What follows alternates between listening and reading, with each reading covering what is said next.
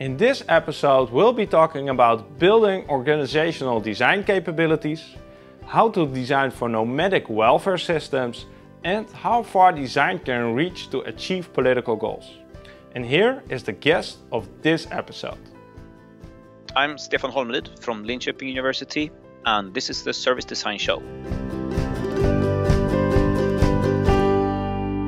Hi guys, my name is Marc Fonteijn and welcome to the Service Design Show. This show is all about helping you to create more human-centered businesses. And we all know that this is important, but also can be a big struggle sometimes. When I started the show, I wanted to learn from the ideas of the people that are shaping the service design field. Believing that by carefully listening to them, I'd be able to quicker overcome the hurdles we meet every day, and thus create a bigger impact with the work we do. So on the show, we talk about topics ranging from design thinking and customer experience to organizational change and creative leadership. If these are the topics you're also interested in, know that we bring a fresh new episode of the show every two weeks on Thursday. If you enjoyed this episode and would like to show your support, please click that like button or leave a short comment. It lets me know that the things we're doing here are appreciated by people like you. My guest in this episode is Stefan Holmlid. Stefan has quite an impressive track record and here's a short summary.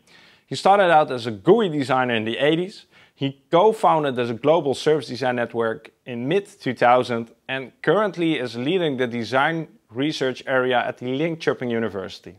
In the next 30 minutes or so, Stefan will be talking about building organizational design capabilities, designing for nomadic welfare systems, and how far design can reach to achieve political goals. If you want to fast forward to one of these topics, check out the episode guide down below in the description, or just stick around and enjoy the whole episode.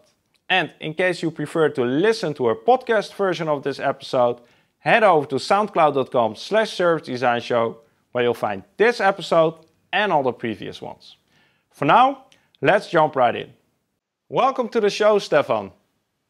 Thank you. You've been in uh, service design for so long. Do you even remember the very first time that you came in touch with the term?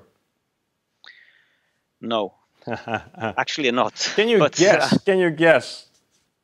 Yeah, I mean, I, when I was a PhD student in the 90s, um, I probably stumbled across it because I read a lot of management and service management literature. I was working with banks and interaction design at that time but it it kind of landed on me when I was working at Ericsson uh, the early 2000s. Um, Ericsson was setting up a service business in uh, in um, well globally, and uh, we were as designers in at the design researchers at Ericsson, we saw a, an opportunity to to find better places and better possibilities to do really good user research, mm, mm. and that's when the these this term service and the term design kind of landed on me as something that could be really really interesting.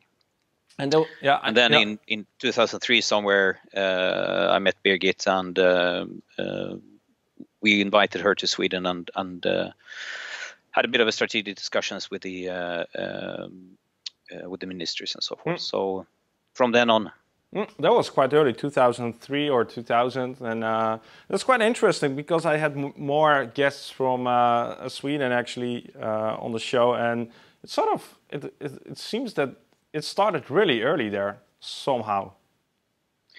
Yeah, I guess I mean it all depends on what you how you how you look at it, of course. So if you look at the old service marketing people, uh, I mean they started already in the seventies talking about these things, mm. trying to figure out how to make these customer experiences into something that was part of the relationship between um, service providers or service providers and customers and so forth. So I mean, in one sense, they've been working on it for a long time there, um, but from the design point of view um, of course, there was also the participatory design, col- collaborative, cooperative design kind of, of uh, arena here. Mm, yeah. Uh, also starting in the 70s. Yeah, so we had a lot of things yeah. kind of coming together and suddenly there was things clicking and and just working you, you had the right breeding ground i guess yeah.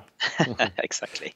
Let's move on because uh, you gave me uh, uh, a few interesting topics and uh, you're coming from an academic background and people will notice that this definitely uh, in the topics that you provided but i'll try to uh, yeah. And from the books right? From the books. Uh, but I'll try to make them as concrete uh, as, as possible. So, and you've got a bunch of question starters that you'll use to co-create the actual questions, right? Let's start. Uh, topic one, and this has been on the show quite a few times, so I'm inter interested in your take on this. And this one is called Building Organizational Capabilities. Which question starter goes along with this oh. one? it's a why. So why are we talking about building organizational capabilities? And which ones are we talking about to be specific? Uh, yeah, that's a that's a really good question, of course. Um, in one sense, I mean, it's organizational capabilities has to do with how we, as organizations, uh, make use of um, different kinds of, of um, knowledge areas or professions or practices or whatever. So in relationship to design, then it's it's of course how do we make sure that design is not only something that is sitting in a in a person's head, or just sitting in a method that we're saying that we're using or a tool maybe. So uh, um, understanding how these organizational capabilities can be built and developed so that we can in a more confident way or in a more uh, uh systematic way make use of the very specific things that design uh, and designers bring. Hmm. Now, have you found something that is uh, specifically challenging for design to become an organizational capability? Yeah, I mean, one of the one of the difficulties I think for design is that designers want to do things right, mm. um, and designers want to make sure that people experience that fantastic feeling of you know being with the users, getting all that empathic kind of, of boost that you get when you see what they're doing and the ideas that users can have and you prototype and all these things. You want other people that maybe not are designers to experience that. Uh, and then you hope that they will take that further on in the organization and uh, uh, you know promote that or whatever. And that's actually a um, a problem hmm. Because most people then that we uh, invite into these experience-based kind of learning uh, processes, they don't necessarily have the um, the possibility when they get back into their own organization without the designer as a help hmm. to do this right they experience something fantastic and when they maybe try to apply it they don't have the support within their organization mm. to be able to to to do the same things they might know everything you know they might be really good at exactly uh, getting the empathic knowledge out of patients and um, sketching and whatever um, but they don't have the support in the organization mm. it's that kind of support that is needed to make sure that we build these organizational um, possibilities mm. for them and and uh, is this something that is? Um, do you think this is part of service design? Also, being able to think about and build these organizational capabilities. Yeah, I do. I mean, it's it's part of trying to figure out what it means to be a service designer, uh, to understand how. Of course, if you're a consultant, uh, you can go in and do something and, and then get out, right? Um, but if you if you think that you're going to uh, contribute with something beyond just the project you're you're involved in, then you need to figure out what is it actually that is the uh, the kind of leverage that this brings into the organization. Yeah. Uh, there are all yeah. these labs around, right? Yeah, uh, um, and when I was working in, in Ericsson, we also built built a usability lab. Um, and the reason for that was not necessarily to do all these usability studies, but to make sure that after the lab, more people would be doing usability studies mm. in their own projects. Mm. So a lab is more interesting from the after the lab perspective, mm. which then also feeds back into if you look at yourself as a designer, what comes after me in this organization that I have been working with. Yeah, and, and, and, that's that's from a perspective where service designers are working with an external agency. Of course, the whole tendency now is to sort of start building internal teams, right? Mm. Yeah, yeah. In-housing is is I mean that's that's been um, expanding the last just the last five years really really much mm. and but the same goes there of course that if you if you direct all the work onto yourself or into that uh, specific team um, that also creates a certain kind of, of structure yeah. and a certain way of working things. Yeah. But what happens in the next step when someone is saying we're going to distribute this, yeah. Um, you know, centralization and decentralization, that happens all the time in organizations. You need to figure out how to work that. Uh, both as a centralized kind of function and decentralized, maybe in markets or whatever. Hmm. And you've done some, uh, you've uh, got some experience also with public services. Do you see any difference between uh, building these capabilities in public publicly run organization and privately run organization, or is it both the same? I think there is a. It's it's hard to tell, mm. but I mean, if a lot of the work we've been doing on on these uh, capabilities building has been in the public sector, um, and one challenge there is that a lot of the professions that are involved in uh, public sector organizations, they are uh, experts in the same sense that the designer is an expert. And mo- many of them, especially in healthcare, are actually experts in being empathic. Um, so a nurse mm-hmm. spends mm-hmm. all day being empathic, right? Mm-hmm. So um, the it's both an opening, of course, because then there is someone else coming in also saying that, oh, I have this empathy kind of ideas that I can work with. Um, so that might be a bonding thing, but it's also it might be a, um, a, threat, of course. So trying to figure out how this how it works from the contextual perspective is of course really important Bef- maybe before you go in or being open when you go in and say that okay so i'm if you're new to it i mean i'm new to this mm. and I, am mm. I'm open to, yeah. to understanding what this yeah. actually means. So, so, adopting the, the beginner's mind also from the service designer perspective. Uh, yeah. yeah. Especially from the service designer perspective. Yeah. Definitely. Uh, one final question around this topic, and this is, um, I, am sure you also have a lot of questions yourself around this topic. So, what is an, uh, what is the biggest question you have regarding building organizational capabilities that we don't have to hmm. answer right now? Mm so that's my this, this is my profession right asking asking questions that we want to know things about no but the uh, I mean, we are working with a specific uh, idea about uh, or a set of specific theories and ideas about these capabilities and they are both on the individual level uh, how these can how capabilities can be built from the individual level but also from the institutional level.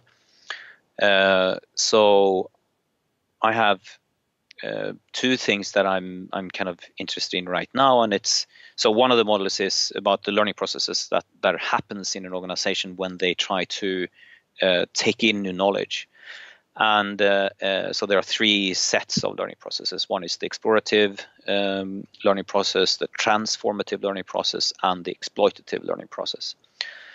And given that designers and other professions, especially in healthcare, um, build their identity and their practices on uh, aesthetic knowledge, the kind of knowledge that we get from mm-hmm. you know, mm-hmm. feeling things mm-hmm. and seeing things and yeah, whatever. So, how can we capture that in the transformative phase? Mm. It's easy in the explorative phase, right? Uh, because we can just experience it and do it and try to figure it out. But how can we capture that into the transformative process where we both adapt the way we are doing those things and the way that the organization is working to accommodate for those kind that kind of knowledge. Mm. So that's a really um, tricky question right now, at least. Mm. Interesting. Let's leave it at that for uh, this moment and move on to the second topic because I'm expecting that we'll need some time also for this one and um, this one uh, is even uh, already curious on paper, and it's called nomadic welfare systems. And which question starter goes along with this topic? Yeah, it's. I did a little bit of hacking, so it's a what is nomadic welfare systems? Uh, yeah, that's a really good question, Stefan. So, what is or what are nomadic welfare systems? Yeah, that's what we're going to find out, right? no, but it's um, it started out as kind of an idea uh, coming from um, um, Ezio Manzini actually. Hmm. Uh, he was here um, a couple of years ago giving a talk uh, at our big literature fair, and uh, um, I mean we have a lot of people moving around in the world. Um, between 50 and 100 million. That's the, the kind of estimate that we have for the future. That will be constantly moving around mm. uh, in the world.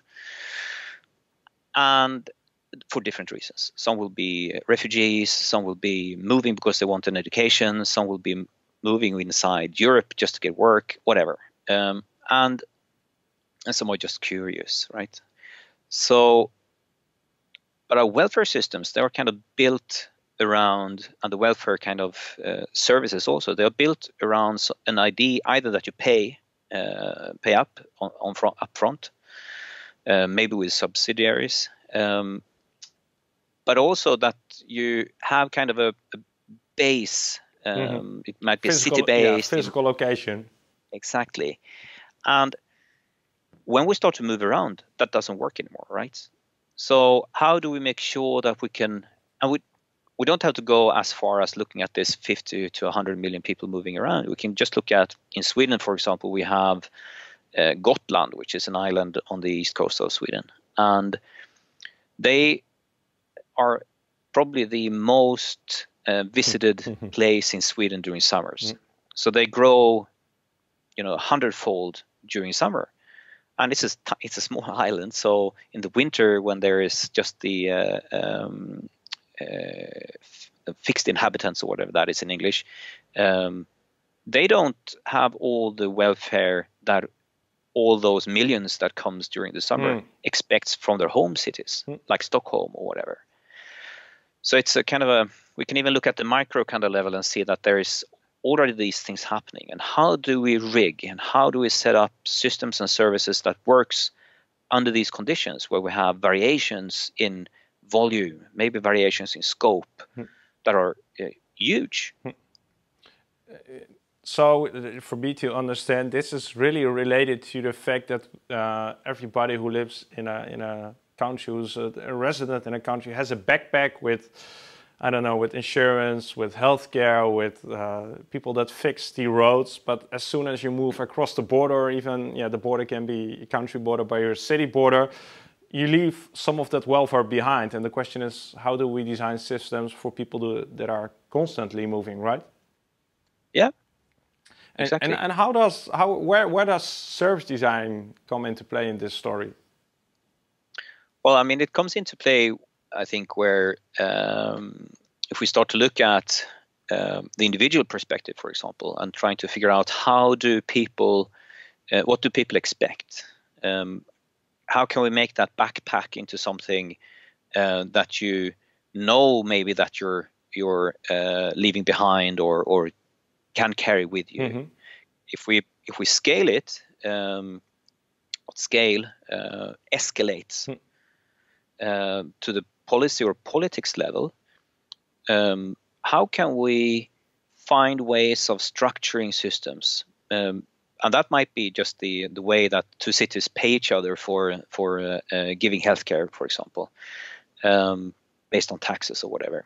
Um, so, what can we do then, mm. and what kinds of policies do we need to design based on the idea that people are moving around like this. What do, what do you find the most interesting or inspiring example that has yeah, that has this nomadic welfare system already developed or embedded?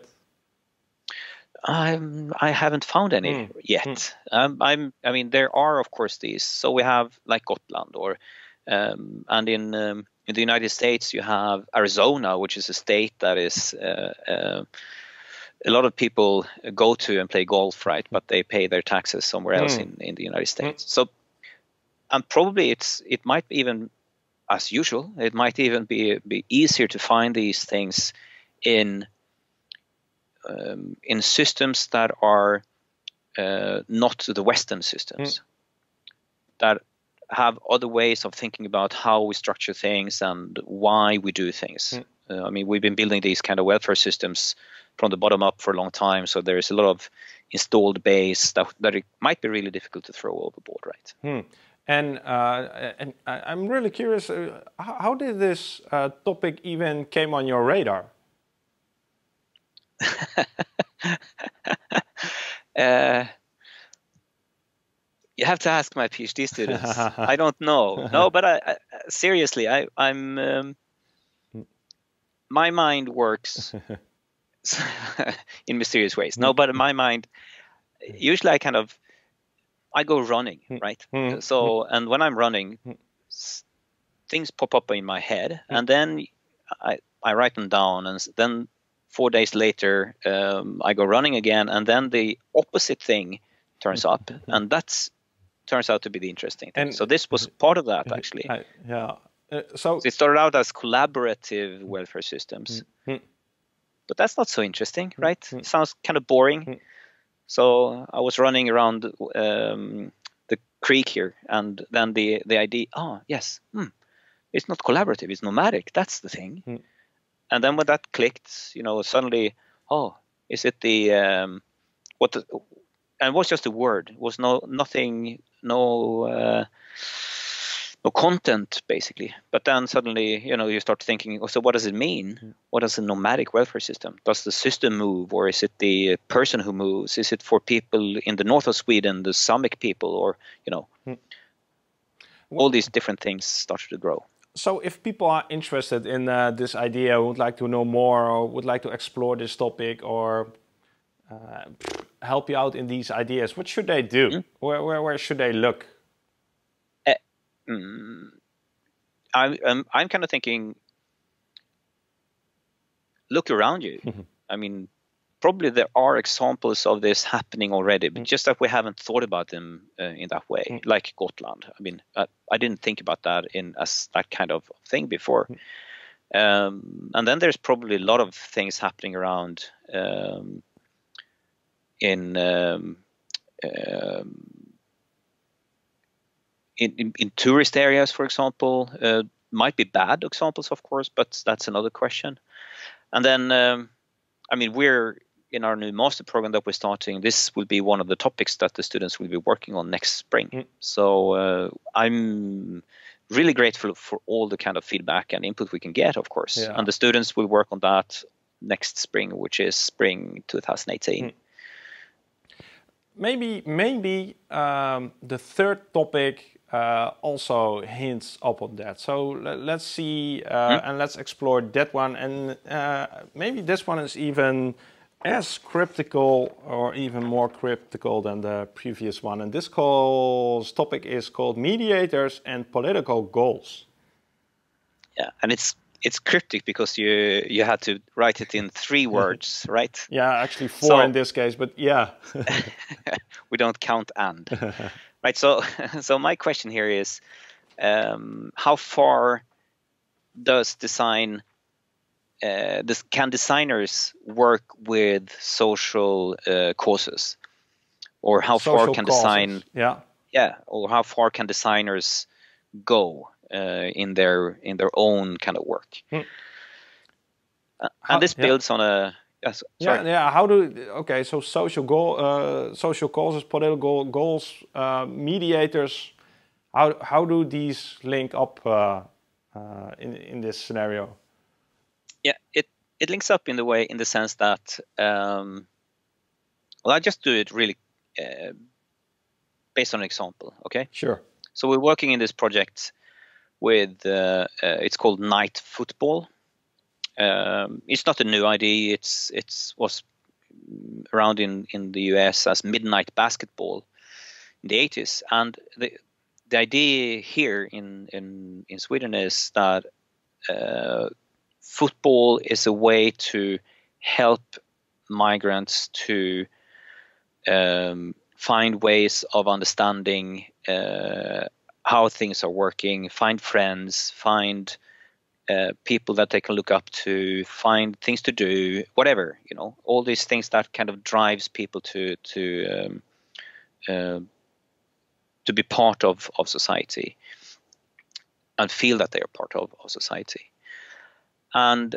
uh, so as designers, of course, it's difficult to drive these things we might want to we might want to do these social innovations, mm-hmm. but these things are uh, difficult in the sense that they um, are the goals. You know, uh, getting to a society which is integrated. Um, and it's that's important actually that it's society it's it's society that is integrated it's not people mm. who are integrated um, so getting to those goals is a difficult thing because it it has to do with politics which might it doesn't change from day to day but it's it's still a negotiation kind of business and it's also a a business where where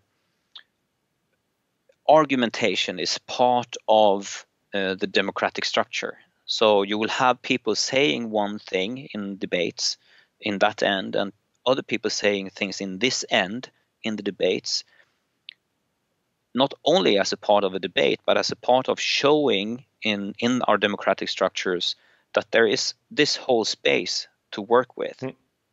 And it's the job of the of the more of the government and the political structure to find a position here that will work. And that's when policy is made, and those policymakers might want to have might have the same goals as these social innovators that wants to do good, uh, and um, which means that there will be political pressure or policy pressure also on these people that are working, for example, with night football. Uh, so working as a designer in that space is um, is not as simple as just helping these innovators to design a better thing, um, but you actually have to f- understand how this system interacts, mm.